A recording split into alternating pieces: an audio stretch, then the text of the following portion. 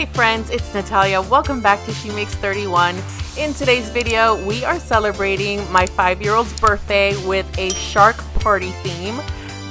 Join me for all things shark themed like food and desserts and party favors. Let's go ahead and get started.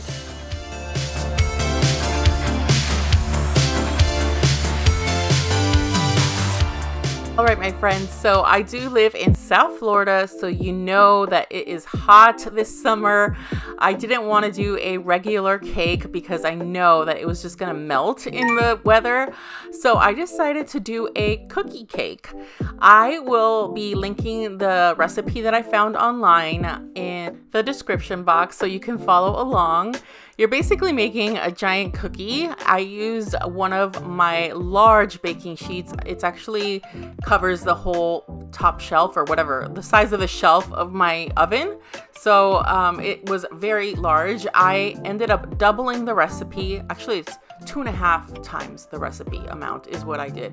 I think I would have tripled it um, because I still wanted to make it bigger but it was perfect actually now that I think back on it because if I would have made it any bigger I wouldn't have been able to fit it out in any of the cake boxes that they sell in store. So here I am. I am putting it on the cookie sheet with some parchment paper underneath and I use mini chocolate chips. Um, you can use whatever you'd like but I like that. It looks like it's more chocolatey this way. Um, I measured it out just to make sure that it was going to fit inside of my cake box I also wanted to make cupcakes because I do have a cupcake carrier that I was able to put inside one of our coolers and that kind of helped with uh, keeping the temperature right. I used a regular white box uh, cake mix and then I did some research on all the different frostings and how they hold up to the heat and my research concluded that Italian meringue buttercream frosting holds up the best to the hot weather. We did have this party at the beach, so this was a must for me. Um, I will say that the buttercream did hold up, although I did leave it out um, to get a little bit of sun, so that didn't help. Um, I should have kept it in the shade, but anyway, in order to make this frosting, which I will link the recipe down below for you, um, you do need a electric mixer, and not a hand mixer, but like a stand mixer. I borrowed my friend's KitchenAid mixer. I had never used one before, and now that I have, I want my own. but uh, I'll have to save up for that. But um, basically, this uh, buttercream frosting, it is not like your traditional American buttercream frosting. You don't use any powdered sugar in this, so it's not as sweet, which could be a good thing. I know a lot of people don't like really super sweet frosting. Um, so this was nice, light and fluffy, and it piped really, really well, which I liked and enjoyed. And so yeah, you start, basically it's egg whites uh, that you're using and you stir them up and you basically start making your meringue base.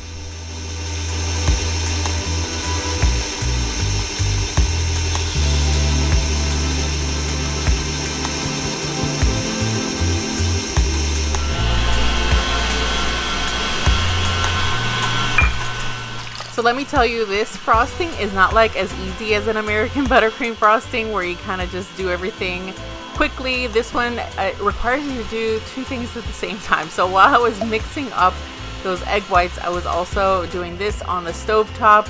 There you see the I'm getting the stiff peaks there. And then once you're, uh, I got a candy thermometer, how fancy, um, and got this to I believe it was 235 or 240 degrees. Um, which is uh, what you need it to be in order to start adding it to your whipped um, egg whites and so you stir it in really really slowly. It's the whole process. The video that I will link below from I believe his name is the preppy kitchen. He explains it so well and I just basically followed his instructions to the T. It is doable. It sounds a little intimidating but as long as you have your KitchenAid mixer and all the ingredients you're good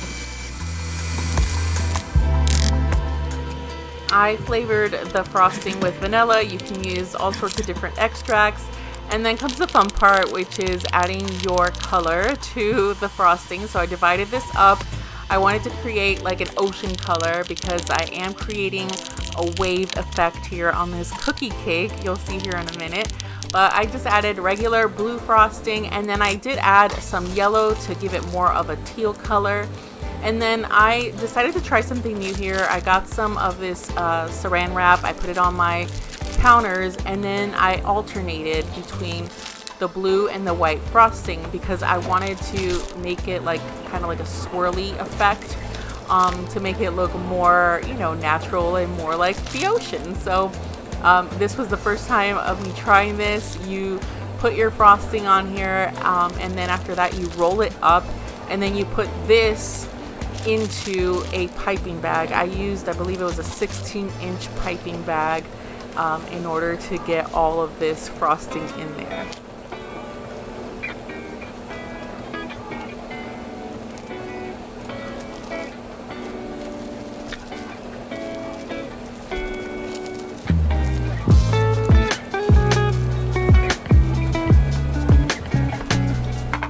So for the cupcakes, I used a 1M size piping uh, decorating tip.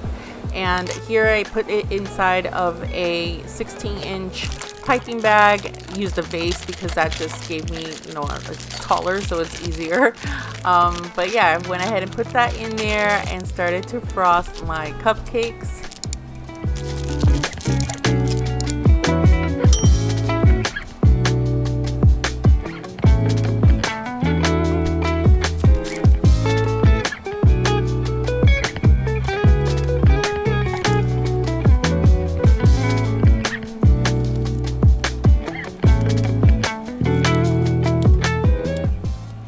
Able to frost 24 cupcakes and the cookie cake with this recipe. I probably would have liked a little bit more because towards the end there I was getting scared that I was running out. So it's always a good thing to make more because it would really stink to not have enough. So um, I love the way that the different, you know, the blue and the white kind of go together. It looks so nice. And then after that I added some white uh, sprinkles on top. It was like the pearly kind, and I got those at Walmart, and I thought that would look super cute.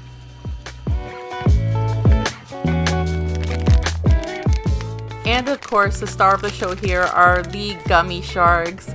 I got these at Target. They're so cute and they match perfectly. And I put one on top of each cupcake. All the kids love these. They wanted to eat the cupcake specifically for the gummy sharks. So they were totally a hit with the kids.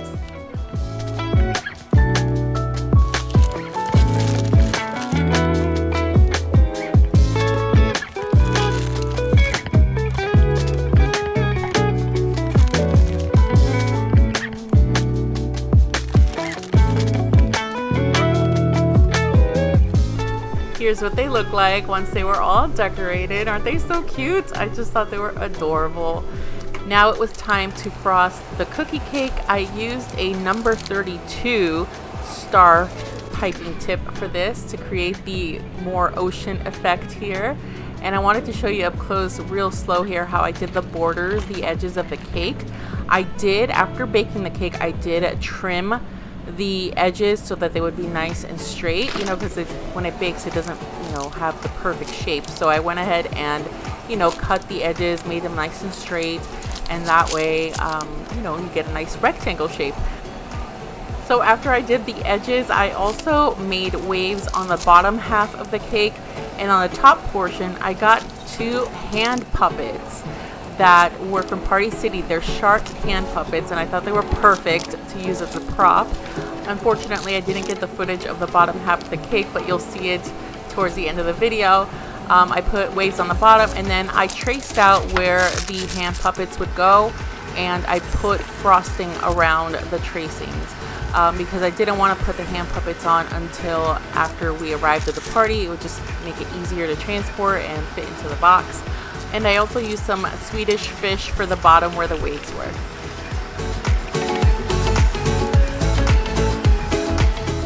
Next I wanted to show you this delicious pasta salad. I got this recipe from my friend years ago and I love making this for parties. It is just always loved by everybody. I doubled this recipe so I used two pounds of pasta. This is the medium shells. You can use penne pasta or ziti or whatever you like, bow ties. And then you get some chopped bell peppers in whatever colors you like. I added red, orange, and yellow. And then I also got a bag of grated Parmesan cheese, or shredded, I'm sorry, Parmesan cheese. I added one whole bag, it's a six ounce bag. And then some uncured hard salami. I used one package for this entire two pounds. And then some fresh parsley and some Olive Garden Italian seasoning. So you mix all these ingredients together, you put the dressing on at the end, and then you want to refrigerate this overnight for at least 8 hours. When you're ready to serve it, you want to add a little bit more dressing, just give it a splash because the dressing does get absorbed by the pasta overnight. Um, and that's it guys it's super simple it looks amazing and it tastes delicious it is so so good next was this super fun idea it's a watermelon shark so you use a watermelon to create a like fruit centerpiece and this was so much fun to do. I followed a tutorial on YouTube that I will also link in the description box. You see me there watching it as I go along. And this created just a beautiful little centerpiece where you could display the watermelon or any other fruit that you have. Um, you want to cut out your template here for the teeth and it is simple to do. It seems intimidating, but you can do it, guys. If I can do it, you can do it too. So this was definitely, you know, a nice little centerpiece here and got the kids all excited about eating fruits.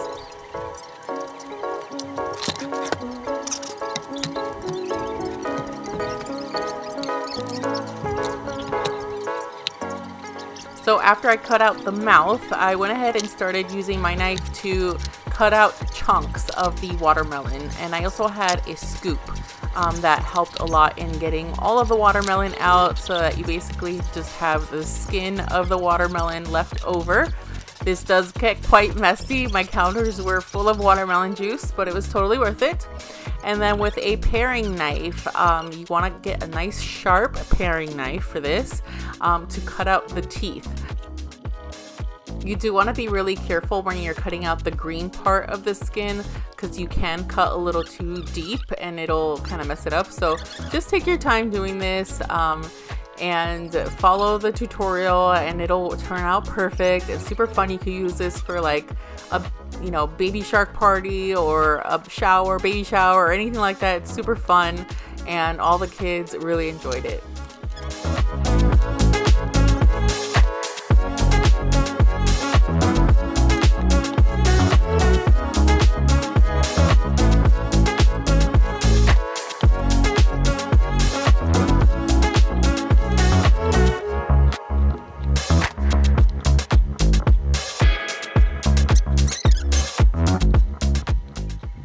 I cut out the teeth, I went ahead and poked little holes on the sides for the eyes. So I just used the tip of my knife to do that. And then I used toothpicks to attach the eyeballs, which were grapes, on the shark. And that worked out really well. And with that first piece I cut off in the beginning, I used that to make the fin and I also attached it with toothpicks. Okay, so next we're moving on to the pinata and the party favors. I got this pinata at Walmart. It was $27.88. This is some of the stuff that I used to fill it with. Lots of candy, some scented pens, some of these uh, little fidget toys, the stretchy fidget toys. Um, so yeah, we had about 17 kids, so I wanted to make sure we had enough candy to keep them all happy. And listen, I know that you could put in other things that are not candy in there, but you know, I want to be a fun mom, right? Sugar them all up. Birthday parties don't come around all the time. So I feel like this is an appropriate time for the kids to have all the sugar and you know the parents can either do whatever they want with it afterwards but but yeah anyway i'm gonna move on to the party favors. I purchased some of this stuff on Temu. I got um, party favor bags. Originally i wanted to use these as piñata bags but they were bigger than i had anticipated. So what i ended up doing is i got a bowl full of different uh, party favors and I had all of these bags here that the kiddos can take home. I love doing bags like this because it's something that the kids can use afterwards and it's not like a party favor that's just garbage basically. Um, so these bags are great because you know it's summertime they can put their little beach toys in there or you know add some a towel in there or whatever you know they want to take with them to the beach or the pool. And here are some of the party favors that I put in a bowl. So basically as the kids were leaving they got to choose um, a few party favors and put them in their bag and got to take that home and that kind of worked out really well and I got different things depending on the age. Um, I got small little buckets like sand buckets from Five Below for the little ones um, that came to our party that weren't able to do, the piñata um, so that was a great alternative for them. All right, my friends, here is the shark party reveal with all the decor. I got all the decorations of like this backdrop on Temu. This was a great, you know, way to be able to take pictures. Unfortunately, it rained, so we couldn't. But uh, we did burgers and hot dogs, and we got some sand buckets to put all of our chips in. And all of the paper plates and napkins were from Dollar Tree. Here was the salad, which was such a hit. And here is that watermelon shark with all the fruit around it. The kids loved this and it was just so much fun. And here is how the shark cookie cake turned out. It was so amazing. It was so much fun and the kids all loved eating it. Uh, we got some candles and kind of dressed it all up when it was time to sing happy birthday. But Caleb loved it. It was an awesome day. We got good weather most of the day. We did get rained out at the very end, but it was still so much fun if you don't live near the beach, having a party like this at the pool or even a lake would still be so much fun and just a great way to make summer memories.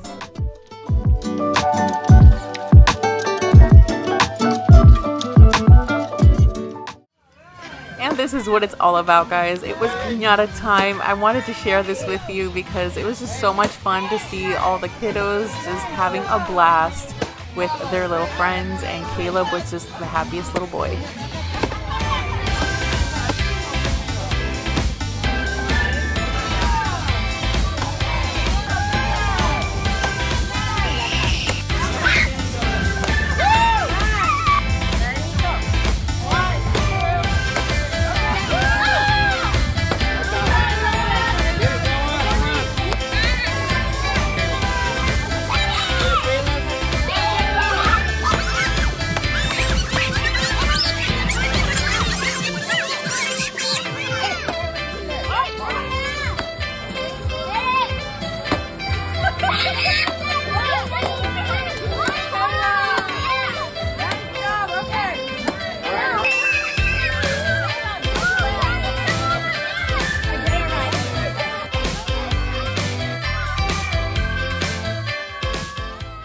Caleb was definitely a happy boy that day. Here are some pics of some of the decor that I got.